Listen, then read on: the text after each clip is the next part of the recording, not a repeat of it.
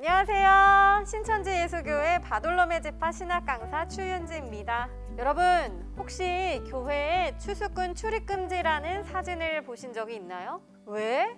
신천지인 출입금지가 아니라 신천지 추수꾼이란 표현을 썼을까요? 도대체 신천지 추수꾼이 누구길래 교회에 들어오지 말라는 걸까요?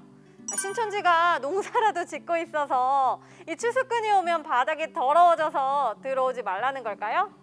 먼저 추수라는 단어는 도대체 어디서 나온 걸까요? 네, 성경에 나옵니다. 하나님은 농부라고 하시는데 예수님과 열두 제자를 나무와 가지라 하시며 그 조직을 만들어가는 걸 농사를 짓는다고 하십니다. 그럼 하나님은 어떻게 농사를 지어 가실까요?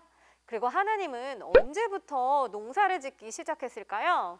6천년 전 하나님께서는 만물을 지으시며 아담과 하와를 두어 에덴 동산을 다스리게 하십니다. 그리고 하나님은 이들과 함께 행복하게 살아가고 있었습니다. 그런데 어느 날 뱀이 등장하게 되는데요. 그 뱀으로 인해 이 땅에는 죄가 들어오고 하나님은 떠나실 수밖에 없었습니다. 모든 걸 맡겼던 사람에게 배신당한 하나님께선 어떻게 하셨을까요? 여러분들은 어떻게 하실 것 같으세요? 복수? 용서? 심판? 하나님께서는 노아를 택하여 새롭게 시작하십니다. 얼마 되지 않아 노아의 아들 함의 범죄로 인해 다시금 죄가 들어오게 되는데요. 하나님의 마음은 어땠을까요? 포기해야 할까요? 아니죠. 다시금 하나님은 계획을 하십니다. 아브라함과 모세를 통해서 이스라엘을 세우시고 언약을 주어 지키게 하죠. 여러분, 혹시 솔로몬이라고 하면 뭐가 생각나세요? 솔로몬의 지혜? 네, 그 부분만 알고 뒤는 모르시는 분들이 많은데요. 하나님께서는 꿈에 나타나 두 번이나 경고하셨는데도 솔로몬은 끝내 하나님을 배신하고 맙니다. 누구처럼요? 아담처럼요. 네, 그리고 하나님을 배신한 이 나라는 남과 북으로 쪼개져 점점 파국으로 치닫게 됩니다. 하나님의 마음은 또 무너지시겠죠? 여러분들이라면 이제 어떻게 하실 것 같나요? 하나님께서는 지금까지와는 차원이 다른 일을 계획하시는데요. 바로 세일과 두 가지 씨가 뿌려질 것을 예언하십니다. 시간이 흘러 600년이 지나 이 세일은 예수님의 탄생하심으로 시작됩니다. 세일은 이전의 이스라엘 백성이 아닌 하나님의 씨로 난 자들로 새로운 나라를 창조하는 걸 말하는데요. 씨는 곧 말씀이라고 한다면 하나님의 씨로 난 자는 하나님의 말씀을 마음에 두어 지키는 자들이라 할 수 있겠죠. 즉, 육적인 혈통에 따른 표면적인 믿음이 아닌 하나님의 말씀을 지키는 이면적인 믿음을 가진 사람들로 하나님의 나라가 만들어지는 거죠. 이것을 예수님은 농사와 추수의 이야기로 마태복음 13장에 말씀하셨습니다. 여러분, 신기한 게 농사를 지을 때 잡초도 나잖아요. 근데 잡초는 어떻게 나는 거예요? 아니, 농부가 심지도 않았는데 말이죠. 근데 성경에서도 이런 일이 일어납니다. 성경에서는 예수님께서 좋은 씨를 뿌리는데 다른 씨도 자라나게 됩니다. 이 씨는 누가 심은 걸까요? 성경에서는 마귀가 심었다고 합니다. 그럼 우리가 씨를 뿌리는 목적은 뭘까요? 네, 거두는 거죠. 거두는 걸 뭐라고 해요? 네, 추수라고 하죠. 그래서 추수할 것을 예언하고 계시는데요. 추수하면 어떻게 돼요? 옷간에 넣잖아요.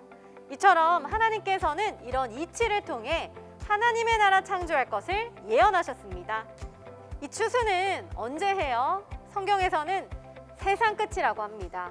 그럼 여러분은 세상 끝에는 어떤 일이 벌어질 거라 생각하세요? 지구 종말? 핵전쟁? 근데 성경에서는 추수를 한대요. 2000년 동안 하나님의 씨가 전파됩니다. 근데 여러분들 이거 아셨나요? 예수님께서는 2000년 동안 이 내용이 전파되어 우리가 알길 바라셨던 것이죠. 열두 제자들에게 전파하라는 복음이 이거였어요.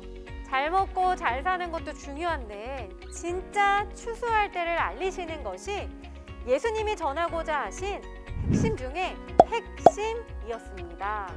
자, 그러면 성경에서는 추수 때를 세상 끝이라고 하는데 여러분들 생각을 한번 해볼게요.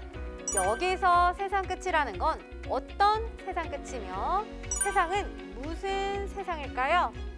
마태복음 13장에 가서 봤더니 이 세상은 예수님이 씨를 뿌린 세상이었습니다.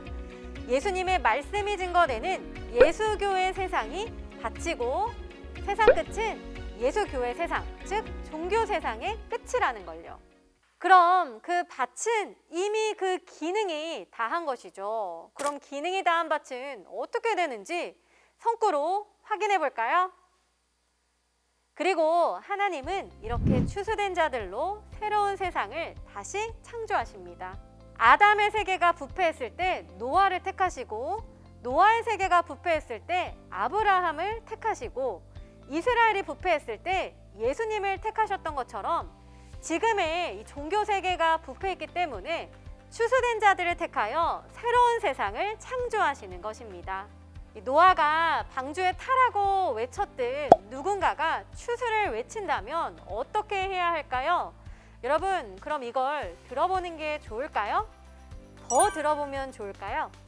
아, 하나님의 마음은 이러시네요. 아, 그럼 누군가 추수를 한다 했을 때 무조건 추수꾼 출입 금지라고 써붙일 게 아니라 지금의 때가 정말 추수의 때인지 확인해 봐야 하지 않을까요? 저희 할머니께서 농사에 대한 이야기를 해주신 적이 있는데 농사도 때와 철이 있다고 합니다. 혹시 철부지란 단어 아시나요?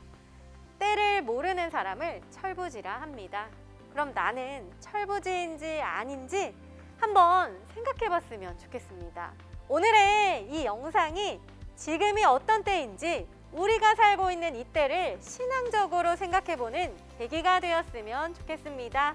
우리 다음에 또 만나요.